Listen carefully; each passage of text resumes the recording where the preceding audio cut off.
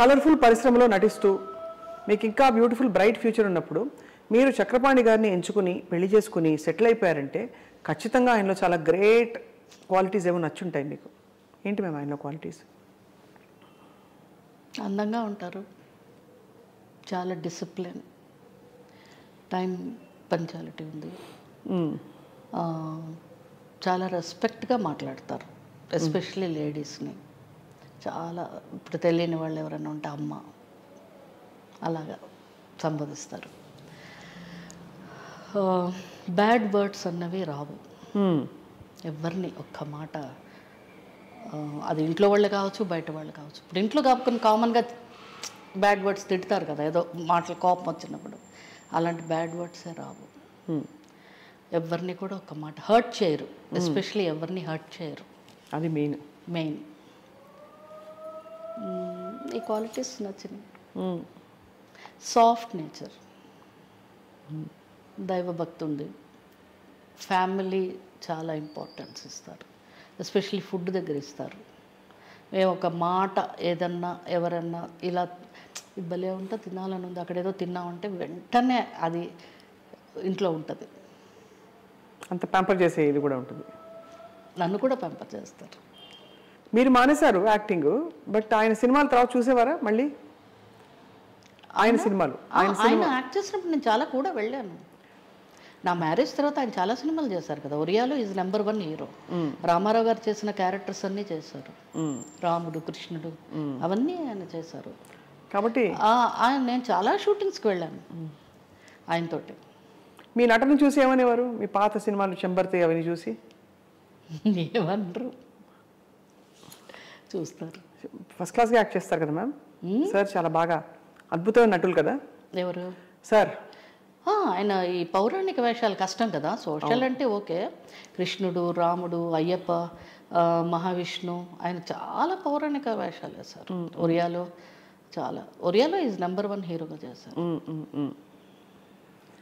So అది. So అలా start అయింది మీ జర్నీ. ట్వంటీ వన్ ఇయర్స్ పెళ్ళి చేసేసుకుని సెటిల్ అయిపోయారు. ఐదో ఏట మొదలుపెట్టిన నటన ఆ ట్వంటీ ఫస్ట్ ఇయర్కి బ్రేక్ పడింది. అప్పటికి మీరు కథం అని అనుకోలేదు నటన. అనుకోలే. బట్ అలా అనుకోకుండా అది కొనసాగి మీరు డబ్బింగ్లోకి వచ్చేసారు. డబ్బింగ్ మీకు ఇంత మంచి గొంతు కంఠం ఉందని డిస్కవర్ చేసింది ఎవరు? అంటే యాక్చువల్గా నేను యాక్ట్ చేసినప్పుడు కూడా నన్ను చాలామంది అడిగారు. అంటే అప్పుడు ఎక్కువ సినిమాలు ఉండేవి కాదు. శివాజీ గణేషన్ గారి సినిమాలు అలాగ ఒకటి రెండు జగ్గయ్య గారు డబ్బింగ్ చెప్పేవారు. జగ్గయ్య గారు పెద్ద యాక్టర్ ఆయన. ఆయన మాకందరికీ ఆయన పెద్ద యాక్టర్. ఆయన డబ్బింగ్ చెప్పేవారా అని అనుకునేవాళ్ళం మేము. అంటే ఆయన కంఠం శివాజీ గారి యాక్టింగ్కి కరెక్ట్గా ఉండేది. సో అందులో ఎవరైనా ఒక హీరోయిన్ యంగ్ హీరోయిన్స్ ఉన్నప్పుడు మమ్మల్ని ఊరికి అడిగేవారు. అంత సీరియస్గా అడిగేవారు కాదు. ఏమండి మీరు చెప్తారా? డబ్బింగ్ చెప్తారా? ఏమన్నా ఇంట్రెస్ట్ అన్న డబ్బింగ్ ఎవరు చెప్తారయ్యా? మన క్యారెక్టర్లకి మనం మన వాయిస్ ఎందుకు ఇవ్వాలి? కానీ జగ్గయ్య గారు చెప్తున్నారంటే శివాజీ గణేషన్ గారికి చెప్తున్నారు. అలా అనుకునేవాళ్ళం. అప్పుడు తర్వాత ఈ యాక్టింగ్ కొంచెం ఇది అయిన తర్వాత బాబు స్కూల్కి వెళ్తున్న టైంలో మురళీమోహన్ గారు ఒకసారి ఫోన్ చేశారు. చేసి ఏమా ఇలా సుహాసిని యాక్ట్ చేసింది నిర్దోష్ అని ఒక సినిమా. ఏమైనా నీకు ఇంట్రెస్ట్ ఉంటే చెప్పేదన్నా సరేనండి అన్న. క్యాజువల్గా మాట్లాడారు ఆయన ఫోన్లో. నెక్స్ట్ డే వస్తావమ్మా ప్రసాద్ ల్యాబ్లో చెప్తావా? ఒక గంట చెప్పి ఒక సీన్ చెప్పి చూడు నీకు నచ్చితే చెప్పు లేదంటే లేదని ఆయన కూడా క్యాజువల్గానే అడిగారు. సరే వెళ్ళాను. ఫస్ట్ సీన్ చాలా ఎమోషనల్ సీన్ వేసేసారు. చాలా ఎమోషనల్గా డైలాగ్స్ అమ్మాయి. అమ్మాయి కూడా చాలా బాగా యాక్ట్ చేస్తుంది అది చెప్పాను ఆయనకి చాలా నచ్చింది డైరెక్టర్కి ఆయనకి నేను. నచ్చి ఆ పిక్చర్ చెప్పాను. అప్పుడు అమ్మాయి పెద్ద సక్సెస్ అయింది సుహాస్ని. కంటిన్యూగా ఒక పది సినిమాలు చెప్పాను. ఇంట్లో ఇల్లాలు ప్రియురాలు కొంగుముడి ఏవో చాలా సినిమాలు చెప్పాను ఆ అమ్మాయికి. ఆ అమ్మాయి చెప్పడం చెప్పడం అప్పుడు మనకి అదర్ లాంగ్వేజెస్ హీరోయిన్స్ రావడం ఎక్కువైపోయింది ఆ టైంలో. ఎయిటీస్లో. మీరు చూడండి. రాధ రాధిక హిందీ హీరోయిన్లు దివ్య భారతి మీనాక్షి శేషాద్రి అవును. శిల్పా శెట్టి వీళ్ళ వీళ్ళందరూ. ఖుష్బు ఇంకా రోజా రమ్యకృష్ణ ఊహ ఇలా రకరకాల నెంబర్ ఆఫ్ హీరోయిన్స్ అంటే నేను సిక్స్ హండ్రెడ్ ఫిల్మ్స్ చెప్పానంటే దగ్గర దగ్గర ఫోర్ హండ్రెడ్ హీరోయిన్స్కి చెప్పుకుంటాను అబ్బాబ్బాబ్బాబ్బా మరి అలాగే కదా అవుతుంది?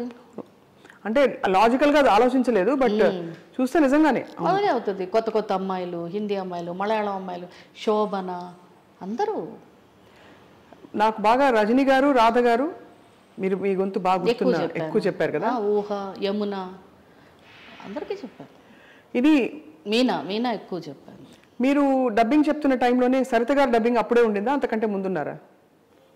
అంతకంటే అప్పుడప్పుడే. ఆవిడ కూడా ఆవిడ కూడా హీరోయిన్గా చాలా చేసింది. చేశారు అప్పుడు మాకంటే ముందు దుర్గా అని ఒక దుర్గ ఆవిడ ఎక్కువ చెప్పారు. ఆవిడది చాలా హై ఫ్రీక్వెన్సీ వాయిస్ ఆవిడ చెప్పారు. ఆవిడ తర్వాత నేను సరిత అలాగా అందరూ. ఇప్పుడు అందరూ కొత్త కొత్త అమ్మాయిలు చాలా మంది వచ్చేసారు. ఇప్పుడంతా ఇలా మాట్లాడితేనే కదా కరెక్ట్ డైలాగ్ వస్తుంది. అలా కూడా కాదు తెలుగు కూడా సరిగ్గా మాట్లాడకూడదు తెలుగు నాకు సరిగ్గా రాదు అలాగే కదా మాట్లాడాలి. మీరేమో ఫుల్ రౌండ్ వాయిస్ మంచిగా అప్స్ అండ్ డౌన్స్ ఉండే వాయిస్ అండ్ బాగా వయ్యారంగా చెప్పే డైలాగులు కూడా భలే పలికే మీ గొంతులో ఆ. చాలా సినిమాలు ఆరు వందల సినిమాలు చెప్పామంటే దగ్గర దగ్గర నాలుగు వందల మంది హీరోయిన్లకు చెప్తాం.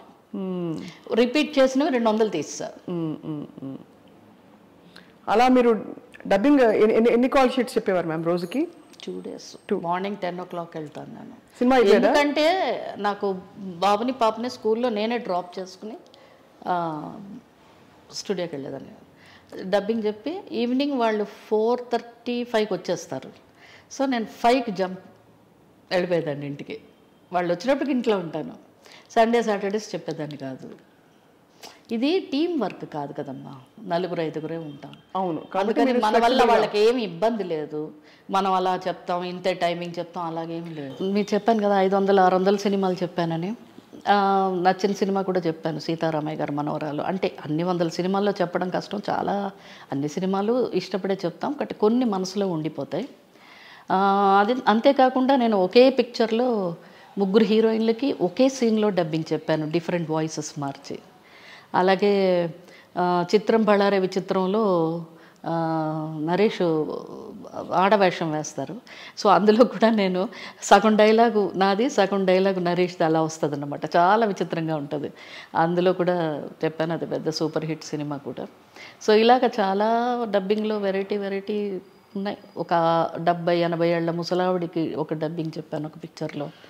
సో చిన్న పాపకు ఒక పిక్చర్లో చెప్పాను.